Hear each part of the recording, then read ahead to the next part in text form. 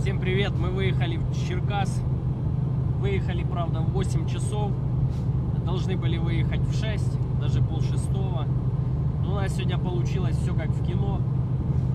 Встали в 4, а в 5 часов мне звонит Виталик и говорит, я в Черкасах, но машина поломалась. Что у нас поломалось? Генератор поломался к аккумулятору какой-то, короче.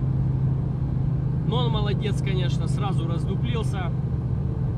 И в 5 часов утра начал по OLX звонить людям и задрачивать людей, у ко- которые продавали этот генератор. А их было аж двое, да, или один.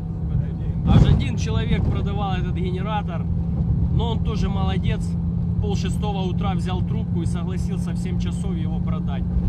И так сложилось, что он всем продал, Витаха успел его поменять быстро. И мы к 8 часам выехали. Выехали.